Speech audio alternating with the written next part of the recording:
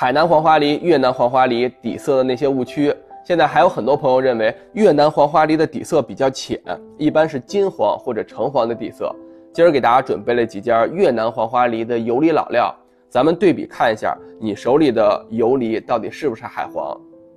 这三件都属于是越南北部的油梨老料，底色都是偏这种褐色或者是棕褐色，就非常像海南黄花梨的底色。咱们一件件的看，先看中间这一件。这件是一块随行的原料，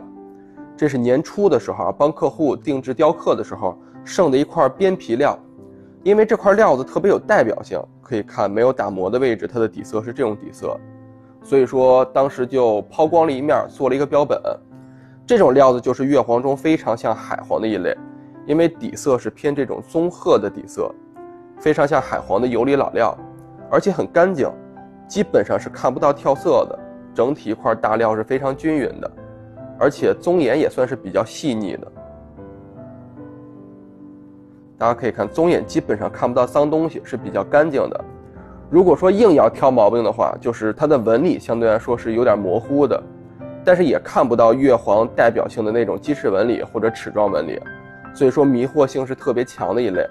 现在市面上这种料子都是上胶水来制作，一般消费者还是很难去区分的。而且这块料子这儿有一块水波纹理，这块水波纹理非常漂亮，很细腻。如果用这一块的料子来做一个手把件，还真的可以以假乱真。再看一下这件笔筒，这又是一个非常有代表性的料子，越南黄花梨中油梨老料，纹理比较细腻的一类，而且也是这种棕色的底子，纹理的黑金也非常清晰，非常舒展，非常有海黄的效果，尤其是这个位置啊。很漂亮，但是咱们细节看，像这种位置还是有很清晰的越黄的特征的。它的底子就是标准的越黄底子，模糊，而且是那种小细纹很杂乱。如果在海黄上是绝对不会出现这种状况的。最后咱们再看一下这把小壶，也是越黄中游离代表性比较强的一类。整体颜色非常均匀，但是它棕眼是比较粗的。咱们可以看一下，棕眼比较粗，比较脏，而且它有这种位置，类似于白皮加皮的跳色，其实它不是皮也是革。